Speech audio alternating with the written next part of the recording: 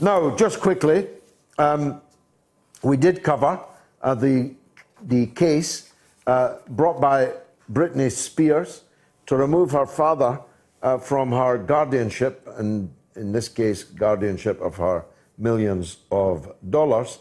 And that case has now been resolved. So, uh, just quickly, we have Sarah Robertson, our very own showbiz and TV editor. Sarah, thanks uh, for coming on uh, the show to talk about this. Most kind of you on a crowded uh, evening. Just summarize what happened on the case, would you? Well, lawyers, Britney's lawyers um, said this was a major victory for her that her father, Jamie Spears, has agreed to step aside from the conservatorship.